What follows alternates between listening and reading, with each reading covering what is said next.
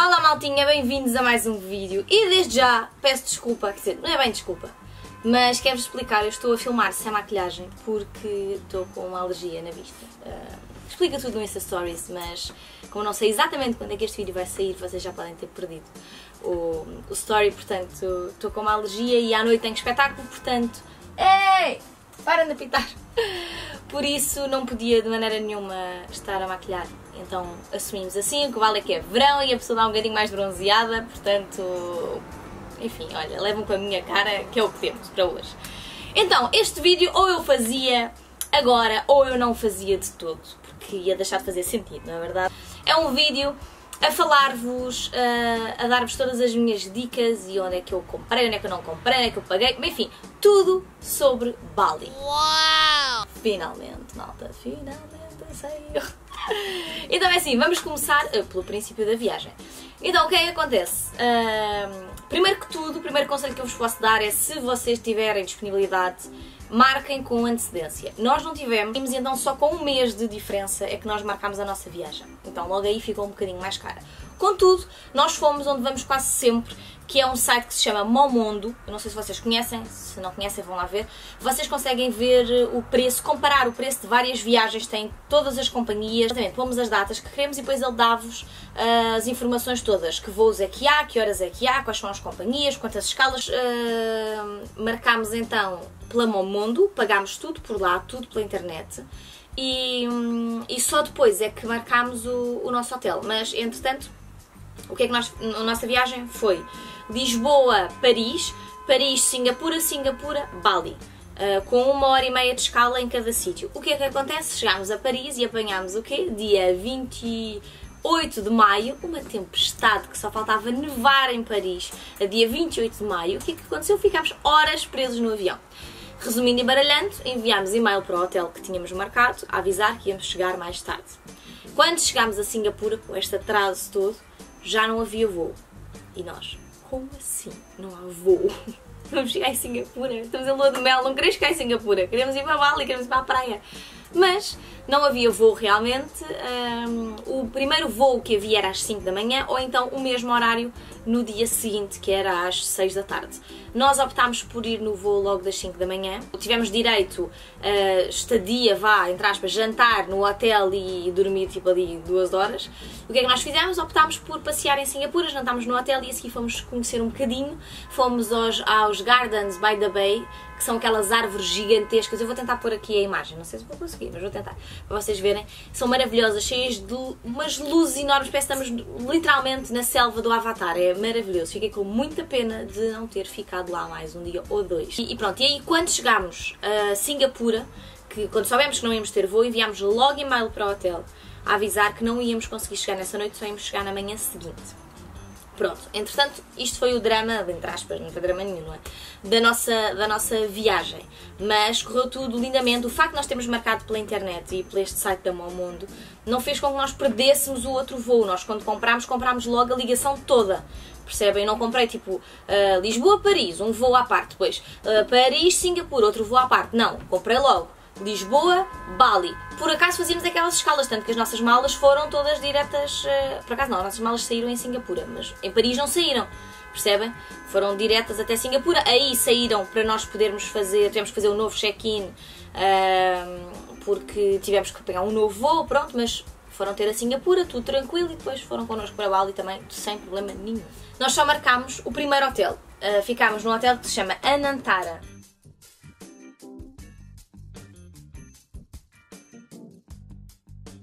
Anantara Villas and Spa Resort.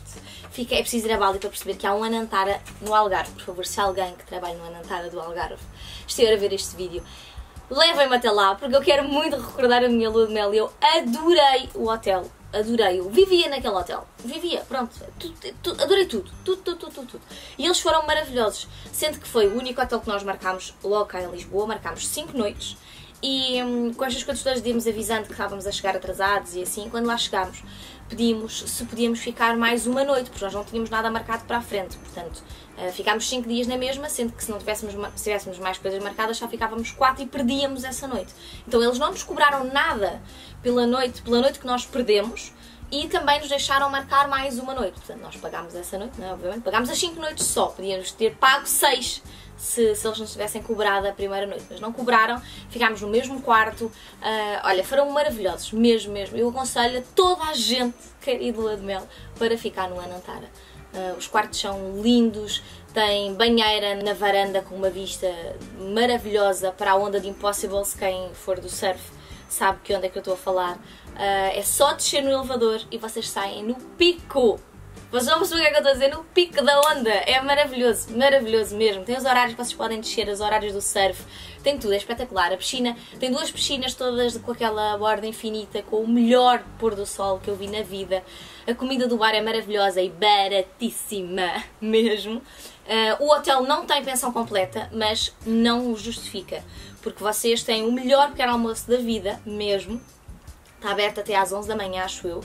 Um, e depois podem, tem outros restaurantes dentro do hotel e tem o bar da praia, o bar da praia, o bar do hotel na piscina, que tem, tem comida o dia todo, que comida é ótima, não é nada cara, e depois tem happy hour das 5 da tarde, acho eu, até às 7 vocês compram um cocktail e hum, bebem dois e pagam um, percebem?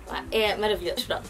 Nós só marcámos esses 5 dias e decidimos que lá íamos ver para onde é que queríamos ir a seguir. Se estávamos mais numa de ir logo para a montanha, se estávamos numa de ir para as ilhas, se queríamos continuar em Bali. Isto porquê? Porque Bali é uma ilha, mas depois nós andámos por outras ilhas. São super fáceis de chegar, vamos de barco para todas. E bem, já vos explico como é que vocês fazem. Mas pronto, só ficámos 5 dias e depois decidimos marcar o resto da viagem lá, através do Booking. Nós marcámos tudo através do Booking. Já me disseram que às vezes sai mais barato se nós falarmos diretamente com os hotéis e não pelo Booking. Não sei, eu marco marquei tudo pelo Booking, correu tudo bem, não comparei os preços realmente, não liguei para o hotel a saber se estaria a pagar mais pelo quarto ou não, mas os preços pareceram-me todos bastante razoáveis, portanto, enfim, correu tudo bem. Vimos que íamos para Nusa Lembonga e Nusa Lembonga é uma ilha. Então, sendo uma ilha, nós precisámos de agilizar a situação, porque tínhamos dois trolleys para levar e íamos de barco e tentar perceber como é que fazemos esta logística. Então, onde é que eu fui? Andei a ler blogs sobre viagens a Bali, os brasileiros são fortíssimos, escrevem tudo, um, e então encontramos uma companhia que se chama Scoot e fomos uh, por essa empresa. Eles têm um serviço completíssimo. Nós pedimos ao hotel para ligar para eles, para entenderem melhor, porque às vezes não percebem muito bem o inglês, mas eles combinaram tudo e basicamente foi o pacote que nós escolhemos, que era, uh, vinha um shuttle buscar-nos ao hotel, uh, levar-nos a, levar as nossas malas e tudo, uh, levava-nos até ao porto, uh, para, para apanharmos o barco. Depois tínhamos barco até Nusa Lembongan. Aí tínhamos outro shuttle para nos levar à nossa estadia. Depois, quando saíssemos dessa ilha, íamos para as Gili. E comprámos tudo junto. Fizemos o que eles chamam o triângulo tropical, acho que é, que é Bali, Nusa e Gili. E depois retomava outra vez a Bali.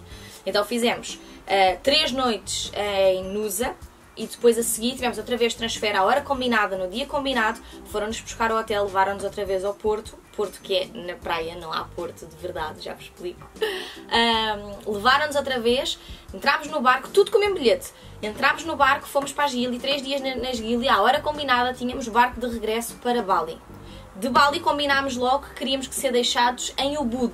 E assim foi, fizemos tudo, deixaram-nos no centro do Ubud tudo super organizado, correu tudo impecável. Eles põem e tiram as malas do barco, não vi nenhuma mala a cair à água, sendo que não há porto de verdade. Uh, ou seja, levem calções curtinhos, fatos de banho por baixo um, e havaianas, porque vocês entram mesmo na água, quem for baixinha como eu fica com a água praticamente a roçar no rabo porque o barco tem que ficar ali, não é? Não pode ir mesmo até terra. E eles põem as malas no barco e tiram as malas e põem na areia e depois põem-nas outra vez eh, nos respectivos carros. Um, sendo que de, em Bali fomos numa van, não é? Uh, numa carrinha e em Nusa Lembogã fomos de mota, não, fomos de tuk-tuk, tipo um género de um tuk-tuk mesmo, com as malas, assim é que foi, mas houve outro dia qualquer que nos foram buscar na mota, o rapaz da mota, eu e o David, na mesma mota, sem capacetes, não há capacetes. Enfim, a loucura. Mas pronto. Chegando às Gili, o que é que há? Não há motas. Então onde é que nós fomos? Num cavalinho. Então é género um tuk-tuk, mas em vez de ser uma moto é um cavalinho a puxar. Acho um bocadinho agressivo para os animais, acho, sem dúvida nenhuma, mas não há outra opção na ilha. Uh, a não ser que vocês fiquem numa zona da ilha de Gili uh, perto do, do porto de embarque e desembarque, eu não aconselho nada. Ou se ficarem do outro lado da ilha onde eu fiquei, aquilo são 20 minutos de cavalo, portanto tem mesmo. E, e, não há estrada, é areia. Então não dá para ir entre trolley uh, até lá. Por isso tem mesmo que ser a opção dos cavalos, porque eles não têm outra opção na ilha. Mas pronto, então, chegando a Nusa Lembongan, o que é que nós fizemos? Uh, nós decidimos, aliás, nós marcámos no Booking, ficámos numa homestay. Escolham sempre, sempre, sempre, mesmo por muito que vão para uma coisa bem baratinha, escolham sempre algum quarto que tenha ar-condicionado, porque é mesmo preciso. Vocês não conseguem abrir, abrindo as janelas não refresca e depois à noite não vão dormir de janela aberta porque há imensos bichos deste tamanho. Melgas uh, abelhas, lagartos, é tudo assim, é tudo gigante. Portanto, uh, ar-condicionado sempre. Nós ficámos nesse homestay que se chama Nyangadin, super barato. Nós pagámos 2 milhões 718 mil rupias, que não é nada. Vou já fazer aqui a conta para vocês também para vos explicar como é que vocês conseguem fazer esta conta. Uh, tem que ver como é que, a quanto é que está uh, a conversão, não é? De de euros para rupias. Nós fizemos, foi aconselhado pelo nosso banco, nós levantámos dinheiro. Ai, desculpa, esqueci de tirar o som. Nós levantámos dinheiro cá e, e trocámos lá assim que chegámos. Levámos mil euros e trocámos e depois quando precisámos de mais, aí sim levantámos nos bancos amarelos. Tem o lettering amarelo. Disseram-nos que eram os mais confiáveis. Mas pronto, dentro do hotel eh, nós pagávamos com o cartão mas na rua, tudo o resto, na rua, táxis, o que seja, pagámos sempre em dinheiro para não haver riscos de clonagens e coisas assim. Mas pronto, então como é que vocês fazem a conversão? É muito simples, vou pôr aqui 2 milhões, parece imenso, 2 milhões a dividir por 16 mil, foi por quanto nós trocámos. Então dá 125 euros. É isto, malta, 125 euros foi quanto nós pagámos para ficar 3 noites uh, com pequeno almoço no, em frente à praia. E com o snorkeling, que foi 300 mil rupias, uh, irmos fazer snorkeling uh, no barco. Eles levam-nos para ver e vale muito a pena, vocês não guardem o snorkeling para fazer nas Gili. Façam também lá, mas em Nusa Lembogan uh, e em Nusa... Um, Seminha, Seminha, não sei dizer muito bem, mas pronto, são duas ilhas coladinhas uma outra que são ligadas por uma ponte pela Yellow Bridge, que já está toda recuperada, ela caiu há uns anos, mas está ótima agora, podem passar. acho, acho que sim, mas quando nos correu bem. Passam as motos, passam os carros, a ponte é desta largura e aí vale muito a pena fazer snorkeling. Nós marcámos uh, diretamente aqui no nosso hotel e pagámos uh, 150 mil cada um, portanto 300 mil os dois para irmos fazer o snorkeling no barco eles levam-nos aos pontozinhos todos. Como nós gostámos tanto e quisemos repetir, uh, e isto já incluía ver as mantas gigantes, que é maravilhoso, que por amor de Deus vocês façam isso, que é lindo, não toquem nenhuma nunca, por favor. Mas é, é, estão lá só, vocês entram dentro da água, parece que estão num aquário gigante e as mantas andam lá tipo a comer o seu, a sua comidinha sem chatear, sem olhar para vocês, vocês não lhes tocam, elas não vos tocam e está tudo bem, ok? É, é lindo, é lindo de se ver e, e pagámos só 150 mil para, para, poder, para irmos lá ver as mantas. Como gostámos tanto, perguntámos ao senhor do bar como é que podíamos fazer para ir só os dois. Uh, sem ter tanta gente, porque cada barco leva mais ou menos, pode levar 10, pode levar 5, pode levar 12, pronto. Enfim, eles tentam encher o barco ao máximo, aquilo ser rentável para eles. Uh, e então ele disse: sim, sim, não há problema nenhum, uh, custa um milhão. Nós, um milhão? Quanto é que é um milhão? calma, para irmos sozinhos, uh, 4 horas do barco, os dois sozinhos com o senhor do barco, os spots todos, sem mais ninguém. Um milhão, vou fazer aqui a conta para vocês. Um milhão a dividir por 16 mil. Nós pagámos 62,50 euros para irmos os dois durante 4 horas. Nadar com as mantas. Fomos uma hora mais cedo que toda a gente para podermos estar sozinhos, porque entretanto os barcos, os vários barcos vão às mesmas horas, então acaba sempre por ter, nunca estás sozinho, sozinho. Então fomos nadar com as mantas, Fomos a imensos sítios com corais lindos, bancadas de coral. Fomos ver o Buda que está uh, debaixo da underwater, o Buda uh, conseguimos também lá ver. Um, Pá, vimos imensos, imensos sítios, muitas giros, eles têm nomes específicos, uh, o Manta Bay, Manta Spot, não sei o quê. Fomos a esses todos e, e, é lindo, lindo, lindo, lindo, lindo. Vale mesmo muito, muito a pena. Nas Gili, tem a Gilier, a Gili Meno, e a Gili Trawangan. Nós ficámos na Gili Trawangan, que eles chamam de Gili T, mais fácil. uh, que é maior e, um, e, que, e que já está mais desenvolvida. Acho que as outras também já estão praticamente. Se vocês uh, tiverem mesmo numa de ficarem sozinhos na praia e tudo mais, vão para as outras ilhas. Uh, eu acho que sim. Nós não ficámos nas outras, só ficámos nesta, uh, porque achámos que as outras eram mesmo tipo sem ninguém, sem ninguém, ai meu Deus, tivemos algum problema. E não é isso assim, tão sem ninguém. Já foi há muitos anos, agora já não é, já há pessoas por todo lado. Portanto, e, nos, uh, e a Gili T já tem mesmo bastante gente. Então vocês podem dividir a Gili T ao meio e tem o lado animado das festas, que fica perto do porto de desembarque, e tem o lado mais calmo do yoga por amor de Deus, fiquem no lado mais calmo do yoga, mesmo que queiram sair à noite todas as noites. Não tem nada a ver. É super sujo. É, tem imensa gente, é cheio de grafites por tudo. Quem gosta do género, se calhar vai amar. Pronto, para quem não gosta, que é o meu caso, esqueçam.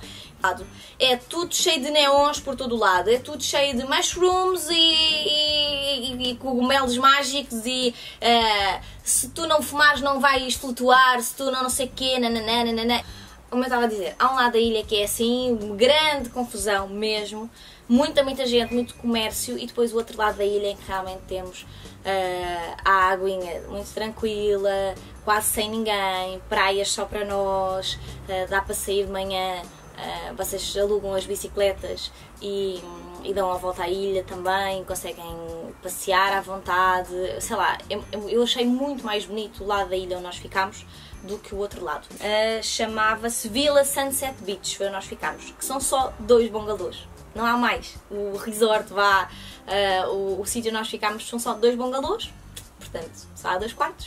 Uh, tem, não tem serviço de pequeno almoço, mas se vocês quiserem, não pagam mais por isso, dizem que querem o pequeno almoço, eles vão comprar lá ao lado e trazem para vocês e vocês pagam. Tão simples quanto isso. Nós não fizemos, nós íamos mesmo lá comer porque era mesmo ao lado e era em cima da praia e estava-se lindamente. E, então são dois, dois bangalôs e tem um estúdio de yoga uh, no alto, onde eles têm, fazem aulas de yoga no nascer do sol e no pôr do sol. O, tem o Fly High Yoga que nós experimentámos e que é muito, muito giro, aconselho a toda a gente.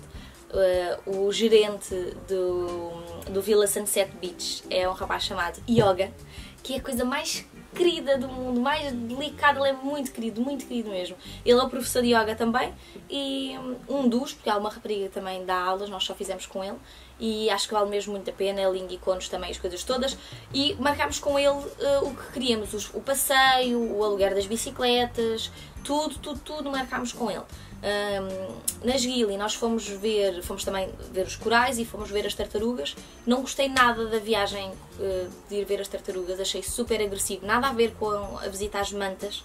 Um, ali eles ficam, quando a tartaruga vem ao de cima, eles chamam toda a gente para ir para o pé da tartaruga e às tantas eu só pensava a tartaruga não vai conseguir respirar, coitadinha. Porque de repente era uma tartaruguinha deste tamanho com 50 pessoas dentro da água cheia de barbatanas e de óculos e de tubos a ver a tartaruga a vir ao de cima a respirar achei muito, muito agressivo, não gostei nada. Mas, mas pronto, enfim, eu, é, é, eu percebo que eles trabalhem com isso, mas não, não gostei. E, e pronto, mas em, em Nusa não, em Nusa achei que foi, foi tudo espetacular, gostei imenso. E, e pronto, basicamente foi isso. Nós andávamos sempre na ilha. Um, fomos ao night market. Se vocês gostarem de comida da rua e de uh, desse género assim, se calhar vão gostar, se forem aventureiros na comida, não sou nada e para mim custa muito, eu não consigo comer coisas com picante e esqueçam, aquilo é tudo com picante, tudo, tudo, tudo, tudo, tudo, tudo, tudo. Nos restaurantes ainda conseguimos pedir 100, mas ali aquilo já está feito, não é? Eles trazem de casa no Tupperware e servem. Portanto, se querem mesmo comida local, acho que é um bom sítio. Se não forem tão aventureiros, uh, se calhar passem esse, essa experiência. E depois o resto, andámos a passear pela ilha e foi basicamente estávamos de bicicleta de um lado para o outro e olha, este tem bom ar, se calhar vamos jantar aqui. Pronto, íamos. Foi, foi exatamente assim que, que fizemos. E pronto. E depois voltámos outra vez sim das Gili, voltámos outra vez para Bali e com o nosso transfer fomos uh, para Ubud. Em Ubud Uh, tivemos um bocadinho azar com o tempo, apanhámos sempre chuva, mas tem os mercados que vale imensa pena vocês fazerem lá compras imenso, imenso, imenso. Comprei algumas coisas uh, que tenho aqui já em casa. Se vocês quiserem depois, uh, deixem-me aqui embaixo um hashtag a dizer queremos um vídeo sobre as compras de Bali e eu faço. E, um, e depois fomos à Floresta dos Macacos, também acho que é muito giro, acho que vale a pena. Por favor, não toquem nos macacos. Vi pessoas lá fazerem coisas loucas que se pensasse, dava uma dentada, coitados, que medo. Um, depois fomos aonde? Em Ubud fizemos isso, subimos ao vulcão para ver o nascer do sol. Uh, achei super agressivo uh, a subida lá acima. Aliás, lá em cima, que eu li algumas coisas nos blogs, mas claramente eu não ia preparada. Aquilo lá em cima estavam para aí 6 graus. Havia barba, a barba de alguns homens a ficar com neve. E eu de calções e t-shirt. E o David também. Portanto, estou a imaginar. Eu tive muito. Eu achei que ia morrer com a hipotermia lá em cima. Foi muito duro mesmo. Mas se forem bem preparados, vale a pena. Mais uma vez, marquei tudo com os hotéis onde nós estávamos. Marquei estas coisinhas todas. Eles vão nos buscar, vão nos levar corre tudo às mil maravilhas. Claro que li, um, li sempre, fui sempre pesquisando para perceber, há duas ou três empresas que fazem, qual é a empresa que eu quero. Quero esta, então peço ao hotel para contactar essa empresa e marcar por mim. E correu tudo bem. Um, então fomos fazer isso, fomos ver a floresta dos macacos, fomos subir ao vulcão, subimos ao vulcão uh, para ver o nascer do sol. Um, fomos aos terraços que eles chamam os terraços de arroz, os Rice Terrace, uh, para ver as plantações de arroz e tem aqueles baloiços enormes. O David andou, eu não, tenho vertigens, uh, mas também é uma experiência giro, também acho que é muito giro. Fomos também ao Santuário dos Elefantes, também acho que vale a pena, também é muito giro. Não andámos nos elefantes, fomos só ver como é que eles eram tratados e, e tirar fotografias, dar festinhas, aquelas coisas. Uh, mas também acho que vale a pena, foi muito giro. E, e basicamente em Ubud foi isso que nós fizemos. Ficámos três noites em Ubud. Uh, há muitos sítios, eu acho que vale a pena uh, ficar. Acho que há tanta coisa para fazer em Ubud que se calhar vale a pena abdicar de um, de um resort afastado do centro e ficar antes num sítio no centro, se calhar com uma piscinazinha se encontrarem ou assim. Desculpem, fiquei sem gravar memória, claro, estou a falar há horas. Uh, mas pronto, como estava a dizer, em Ubud eu acho que vale a pena vocês ficarem. Nós ficámos afastados do centro e acho que foi um erro. Nós morávamos 20 minutos de shuttle do hotel até ao centro do Ubud. Portanto, sempre que queríamos ir às compras e deixar uma coisa ao hotel, comprar alguma coisa assim maior, não dava. Por isso, uh, acho mesmo que vale a pena. E o Buda é um sítio para vocês ficarem perto do centro para poderem ir às compras. Tem uh, arte, tem imensas coisas mesmo giras que vale a pena. Portanto, eu acho que aí é preferível uh, vocês abdicarem, se calhar, da piscina ou de, de algo assim do género e ficarem no centro. Porque, até porque vocês quiserem passar, e passar um dia a um mega, a um mega restaurante com piscina não sei o que, também há. Vocês podem pesquisar e, e, há imensas coisas. Nós vimos mais uma vez tudo pelo Booking e encontramos tudo por lá. Depois saímos de, de Ubud e fomos ter com uns amigos nossos a, a Xangu. Xangu está super na moda super na moda. Tem os restaurantes super giros, imensas coisas vegetarianas, imensas coisas tudo em bowls, tudo em uh, açaís, tudo coisas muito giras, festas, tudo na balada, tudo não sei o quê. Odiei a praia. Se vão numa de praia bonitinha, areia branca em Xangu, não existe. areia preta, o mar tem ondas que parece o meco, uh, mesmo para surfar tem imensas escolas, porque como o fundo não é de pedra, é de areia, as escolinhas todas de surf estão lá, portanto é uma confusão, era só ver a malta com pranchas quase na cabeça, aquilo era pranchas por todo lado, pessoas por todo lado, não gostei especialmente uh, numa onda de lua de mel, não adorei Xangu, acho giro, para ir jantar. Realmente fomos a restaurantes muito, muito giros. Fomos a uns que eu vos posso dizer: La Favela, La Brisa. Um, qual é que era mais? Uh, tem uma coisa de motas muito gira, que é uma marca deles, que é Deus. Tem uma loja muito gira, também com restaurante, com skatepark. Uh, também tem mercado lá, também tem coisas giras. Coisa gira, o sistema é sempre o mesmo: aluga uma motinha e andam de um lado para o outro. Uh, é, é giro nesse aspecto. Praia em si, não gostei, lá está. Mas também há muito sítio que tem um, aquela onda de vais passar o dia à piscina, que é em frente à praia e ficas na piscina, festa, bebida e tal, também é uma onda engraçada. Quer dizer, uh, ficámos, tem, eu, a zona que eu gostei mais foi o sul da ilha, que é o Luato, o Balangã, essa zona assim toda, uh, que tem as praias de areia clarinha e então decidimos eh, voltar para baixo e, e, eu queria ficar no Anantara outra vez, o David também, mas já estava escutado, já não conseguimos. Por isso fomos, ficámos num outro resort que se chama La Joia. Não tem nada a ver com o Anantara, não é 5 estrelas como o Anantara, não há. Estava tudo esgotado, portanto foi assim o mais giro que nós encontramos e era em frente à praia também. Descias as escadinhas, não tinha elevador, descias as escadinhas e estavas na praia de, de Balangã. E, e, essa praia é muito gira quando fica maré, quando fica maré cheia, pomos as botinhas e, e entramos dentro d'água, porque aquilo tem imensas rochinhas, mas quando fica maré vazia faz imensas piscinas e fica assim com aquele ar tudo uh, aguinha transparente ou azul turquesa que, que é lindo. e hum, é um ótimo sítio também para, para, ir com crianças, uh, por causa disso, faz assim aquelas piscinazinhas e eu vi imensos miúdos lá a adorarem aquela água quente, não é? E pronto, e basicamente foi isso. Outras dicas que eu vos posso dar em relação a coisas que vocês devem levar. Uh, eu não levei qualquer tipo de vacina, se calhar chamam-me louca, mas eu não levei vacina nenhuma, não fui a nenhuma consulta do viajante. Falei com toda a gente que tinha ido, que eu conhecia, nunca ninguém levou nada. Um, perguntavam, perguntaram-me imensas vezes, vocês através do Instagram, se podia levar calções, se podia levar manga a cavo. Claro que sim, andei sempre de biquíni e calções, sempre. Havaianas, biquíni e calções, não preciso levarem mais nada. Quer dizer, uma, uma partezinha de cima para ir jantar e tal, mas pronto, durante o dia não. Uh, o, que é que, o que é que eu aconselho a levarem mesmo? Repelente, claro que sim, punhamos sempre repelente. Uh, comprei lá até, esqueci-me de comprar cá, por isso comprei lá, mas podem comprar cá na mesma. Levámos repelente e levar botinhas. O, as botinhas são umas coisinhas tipo de neoprene que vocês podem comprar Decathlon, não sei, alguns sítios assim, eu já tinha as minhas do surf um, e aconselho muito para qualquer sítio que vocês Nusa, Gili, uh, mesmo Bali, Bali, Luates, não sei o que, não sei o que, porque aquilo é tudo muita rocha. Uh, e então convém mesmo vocês conseguirem andar às vezes até à areia, que é assim um bocadinho mais grossa. Uh, o ideal, e tem muitos corais, muitos, muitos, muitos corais. Gili tem muitos corais mesmo. Vocês assim que põem o pé dentro d'água, é coral, corta. Portanto, convém mesmo levarem as botinhas. Uh, nós achámos que a melhor opção também foi uh, levantar dinheiro e trocar lá. Uh, para não perdermos também o fio à meada do que, é que já tínhamos comprado e gasto e assim, e, e, também para não ver aqueles dramas dos cartões a serem colorados e tal. Também, também acho que há um cartão qualquer todo XPTO que vocês levam, uh, põem lá o dinheiro só que querem e conseguem usar. Eu não tenho esse cartão, nem sei como é que se chama, mas já ouvi falar disso. Uh, a minha amiga que, que é assistente de bordo também já me falou disso, acho que é uma ótima opção, mas eu não tenho. Portanto, para nós foi realmente isso de, de, levarmos o dinheiro.